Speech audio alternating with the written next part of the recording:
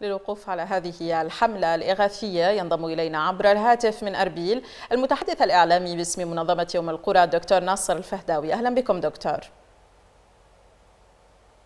حياك الله أختي الكريمة حياكم الله. أه، دكتور ناصر ما تفاصيل هذه الحملة الإغاثية أه، التي قمتم بها في منظمة أم القرى بالتعاون مع أه، هيئة علماء المسلمين في العراق بمخيم ديبكا؟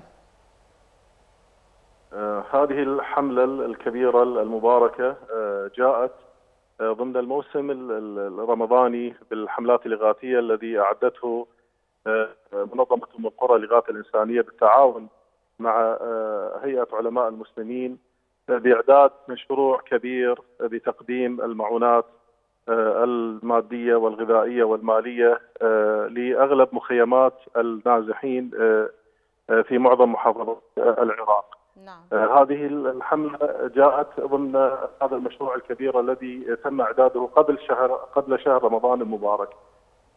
هذه الحملة هذه مبادرة قدمت 1500 سلة غذائية في مخيم ديبقه آه، جنوب غرب أربيل آه، شملت آه، أغلب العائلات النازحة في ذلك المخيم. هذا المخيم فيه يعني 1800 عائلة يتم اعداد تعداد تكمله تكملة هذه الحملة في في الأيام القليلة القادمة بإذن الله نعم. لتغطية جميع العائلات الساكنة في في هذا المخيم.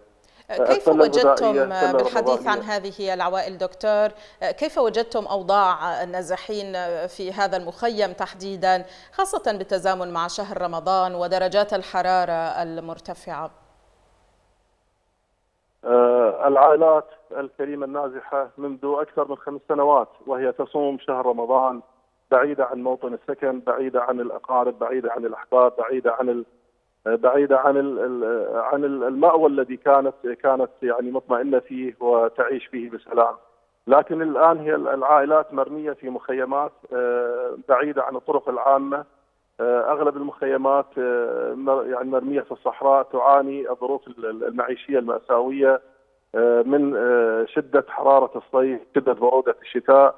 في خيمة يعني تزامن عليها الفترة الطويلة آه، وقد أصبحت يعني خارج خارج خارج الاستعمال المطلوب ضمن الفترة الزمنية المحددة لهذه الخيمة.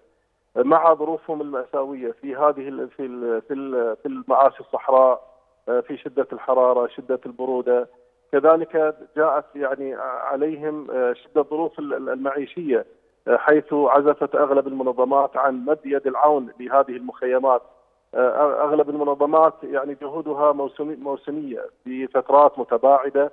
آه، تقدم سلة غذائية بسيطة لكن آه، جهود هيئة علماء المسلمين ومنظمة أم القرى الإنسانية جهود متواصلة. آه، ليس لا تضع في اعتبارها بعد بعد المخيم عن الطريق العام ولا شدة التكاليف ولا المعاناة التي يعانيها الكادر في إيصال آه، الجهد الإغاثي الإنساني لأهلنا النازحين.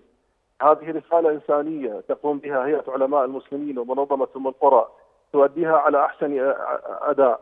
كما أخذت العهد على نفسها منذ أول أيام نكبة العراق إلى يومنا هذا وهي تقدم الجهود المتواصلة آه، طيلة السنوات الماضية وخلال هذا هذا هذه السنة كذلك جهودها متواصلة بحملات إغاثية وبحملات كبيرة جدا تحمل المساعدات المالية والجهود الطبية والجهود التربوية وكذلك جهود الإغاثية الغذائية. بالمقابل كيف تلقى الاهالي والنازحين في هذا المخيم؟ كيف تلقوا هذه آه، الحملة؟ خاصة وأنها ستكون متواصلة لتشمل كل العائلات المتواجدة في المخيم. آه، نعم. هذا المخيم حقيقة يمتاز آه، ببعده عن الطريق العام. حوالي يبعد عن مركز محافظة أربيل بأكثر من 80 كيلومتر. يبعد عن مركز محافظة نينوى بأكثر من 150 كيلومتر. آه، يبعد عن الطريق عن, عن أقرب طريق عام لهذا المخيم حوالي 30 كيلومتر هم تقريبا يعني يعني من المنسيين من المخيمات المنسية في مثل مخيمات الجدعه ومخيمات السلامية مخيمات حمام العليل مخيمات آه، أخرى بعيدة عن متناول الجهود الإغاثية والمنظمات.